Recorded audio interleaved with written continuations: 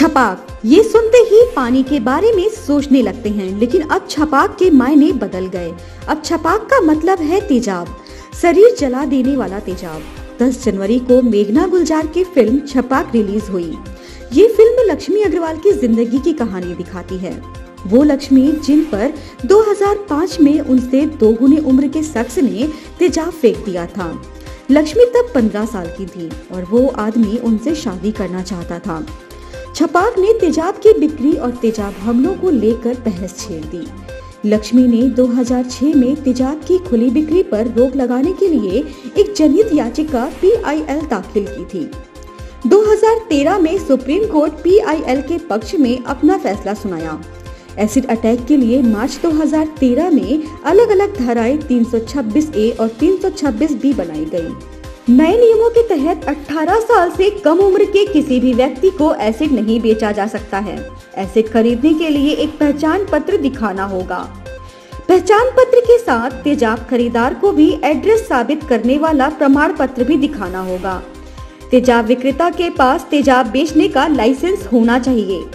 तेजाब की हर एक बिक्री की जानकारी दुकानदार को पुलिस के पास जमा करानी होगी। हालाँकि ये नियम किसी हद तक फॉलो किए जा रहे हैं। इसका हालिया उदाहरण छपाक की टीम का ही एक वीडियो है, जो सोशल मीडिया पर वायरल हो रहा है। दीपिका पादुकोण और छपाक की टीम ने ये जानने के लिए कि फुटकर तेजाब की बिक्री रुकी है या नहीं, एक स्टिंग ऑपरेशन किया। इसके लिए उन्होंने कुछ आर्टिस्ट को चुना। इनमें से एक गृहस्थी वाला शख्स, एक हाउसवाइफ और एक कॉलेज स्टूडेंट एक सड़क छाप गुंडा, एक प्लम्बर एक बिजनेसमैन एक को नशेड़ी के किरदार में अलग अलग दुकानों पर तेजाब खरीदने को भेजा। वीडियो में देखा जा सकता है कि सिर्फ़ कुछ एक दुकानदारों ने तेजाब बेचने से पहले ग्राहक से आईडी कार्ड मांगा। वहीं ज़्यादातर दुकानदारों ने बिना उम्र, जाने और पहचान पत्र के बिना तेजाब बेच दिया। वीडियो में दीपिका बता रही है कि स्टिंग कर रही टीम ने एक दिन में 24 तेजाब की बोतलें आसानी से खरीद दी। फरवरी 2018 में सुप्रीम कोर्ट ने सभी उनतीस राज्यों और सात केंद्र शासित प्रदेशों को नोटिस जारी करके एसिड अटैक विक्टिम को लेकर उनके राज्य के हालात की जानकारी मांगी थी।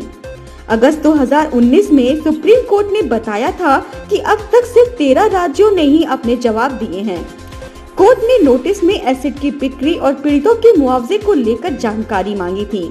जवाब का इंतज़ार है। कोर्ट को और तेजाब हमले को झेल चुकी कई जिंदगियों को भी। इस वीडियो को देखकर लग रहा है कि पीआईएल गाने के बाद भी कुछ ज़्यादा बदला नहीं है। तेजाब बिक रहा है खुलेआम। बेखौफ और नर्क बन रही है कई जिंदगियाँ।